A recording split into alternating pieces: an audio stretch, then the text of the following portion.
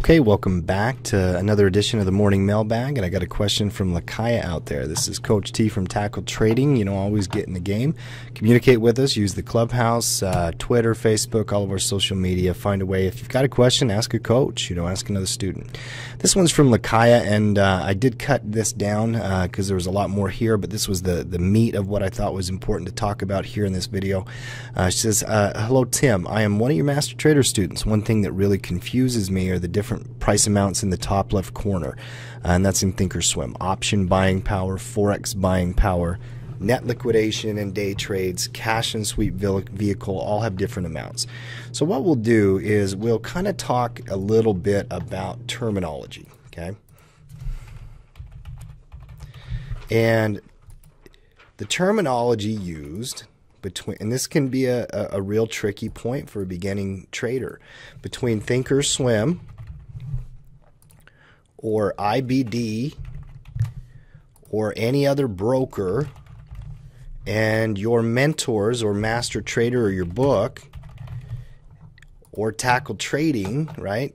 It doesn't always jive, does it? You know, it, it doesn't always uh, come in the same way. So let's focus on some of the major ones. Let's focus on the ones that Lakaya had identified from Thinkorswim, uh, and she wants to know what they are and some explanations. So let's see here, Lakaya. And so let, let's write them all down here. Okay, so option buying power, Forex buying power, net liquidation.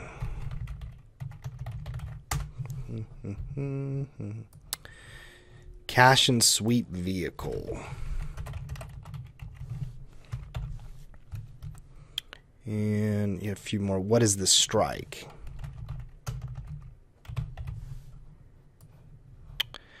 Buying power effect versus how much you spend.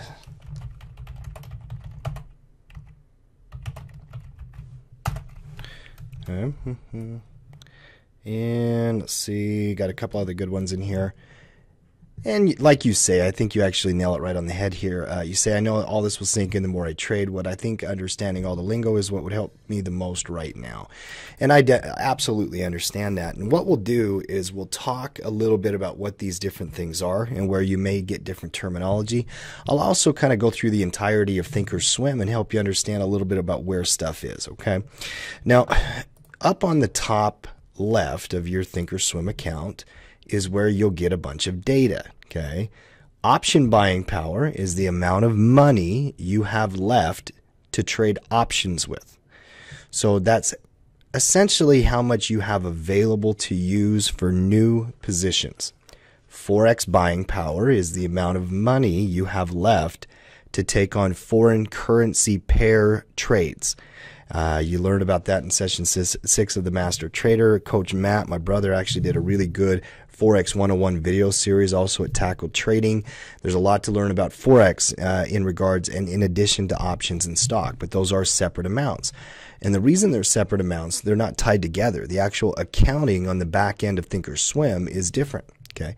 So they the, the accounting for Forex is different for options, so they split them. Net liquidation and day trades. This is essentially the account value that you have. It's how much money the account is worth. So if it has $399,251, that means with all of the positions and everything I'm in, profits, losses, equity, uh, options, all of it, it's 399,000.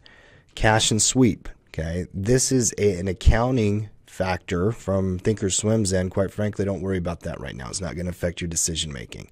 Uh, as you look at the numbers, they can be a little bit intimidating. Like, what, what is it I'm looking at here, right? Well, these are account value numbers. They don't have anything to do necessarily with your individual trades. See, a lot of the terminology we just talked about also is going to apply to individual positions. I'm going to go to the old layout for simplicity and kind of show you a couple of things. All of these different positions have what we call a BP effect. BP stands for buying power. Okay. So over here, I'm going to add buying power versus spent money. These are different things.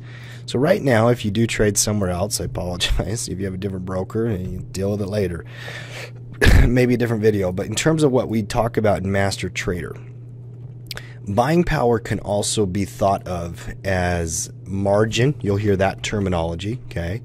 Uh, cost, or and you'll even hear just like BPE, things like that. You'll hear shortcuts for that buying power effect. Okay, they're the same thing. Now, essentially, what this means is how much money it's required for you to put the position on. Strike price we'll get to in a minute. Cash and sweep, I want you to not worry about right now. Net liquidation, like I just described, this is your account value. Account or accounts, depending on if you're measuring one or more. Okay. Forex buying power is the amount of money you have left to trade Forex. So cash for FX trades is what that is. Option buying power is the cash for stock, ETF, and option trades. Okay, move this a little bit here. So we try to use that terminology consistently at Tackle Trading as well, but uh, it's always good to get uh, clarity. Now, the strike price. This was one question you specifically had.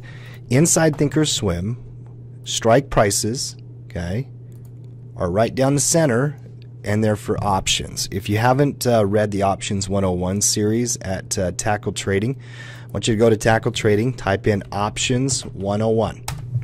In your master trader homework as well, uh, there was a list of uh, articles to read.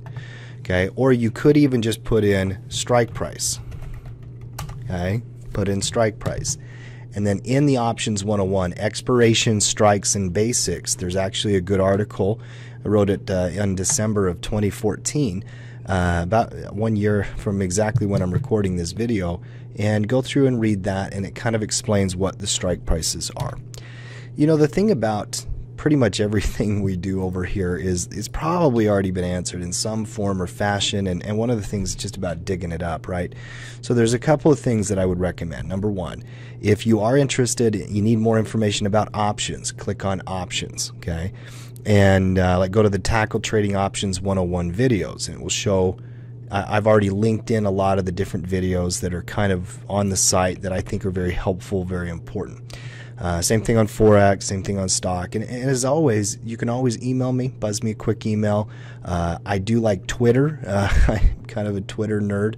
So uh, uh, hit me up on Twitter if you're a social media person. Post on our Facebook page. However, you can communicate with us. You know, I'm happy to, to take on questions and we'll design it. But remember, there's other things that have to happen here.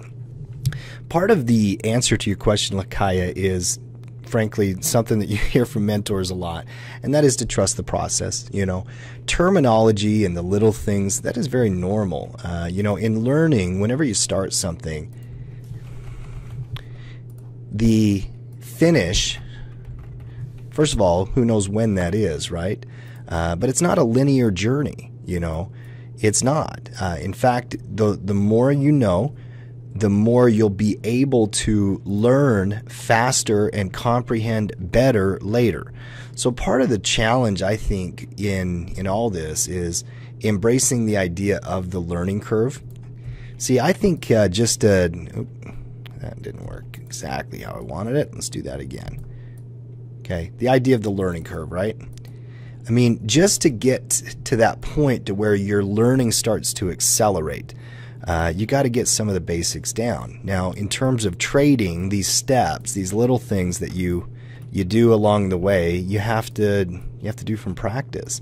I mean, uh, certain key steps that have to happen. Obviously, we need to have a foundation of terminology. Uh, you need to have some strategies. You need to have some strategy rules. Uh, a way to design a trade, a way to implement a trade, a way to enter a trade. But the learning curve does get better. Okay, I can tell you this I've been in the market now for 10 years, guys, and I still learn things. You know, I still learn things about the way the markets are working and developing, and as they change, see, market conditions aren't always the same. I remember my first year of trading, and uh, I got to tell you, I, I was probably, looking back at it, I was probably confused for most of the year, even though I didn't know it. Uh, knowing what I know now, looking back at how little I really knew, uh, it was unbelievable how confused I was. And uh, I am, I've been through that journey. We all have. I started out as a student. I uh, took a, a, lot of classes and read books and worked with mentors. And I, I sat with two different mentors. And to to get to the point where you have an advanced comprehension of strategy, you got to put the time in. Now that's why you're here. And that's why you're doing the videos, and I commend you on all that. But you also need to embrace the idea of process, because it's not going to happen in your first month just because. Now, this is why we practice you know, in your trading account, make sure that you go out there and you apply the trades because things like the strike or learning how to customize the little columns with direction, with mentorships, with trading labs, attending the coaches show, watching the video, uh, participating in the clubhouse. If you'll participate and ask for help, you'll get the answer to that stuff. Okay. That stuff may feel really, you know, like a big challenge or, or whatnot, but it's not. It just requires that you ask the right people or the right mentors or the right uh, fellow students or get the right content and ask the right question. Okay, so be willing to do that. Uh, Lakaya, hopefully this does clear up some of the terminology. Uh, I will give you one last look here at the monitor tab. You know, there's a lot of customization that can happen. And I, I did a bunch of videos on the monitor tab from before.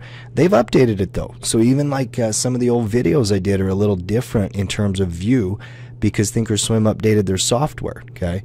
So you got to learn how to use this because reading your statement is one of the most important things that you can do as a trader, period. Okay. All right. Uh, another edition of our morning mailbag. You know what we do over here. Uh, let's just take a look at all the content that comes out on a weekly basis here at Tackle Trading.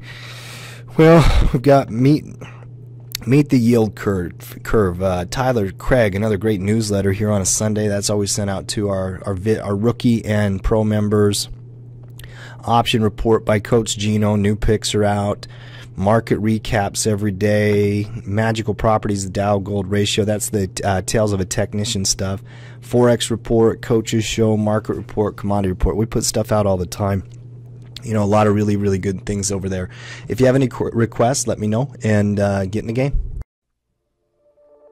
Get off the sidelines and take control of your financial future at www.tackletrading.com. Get in the game.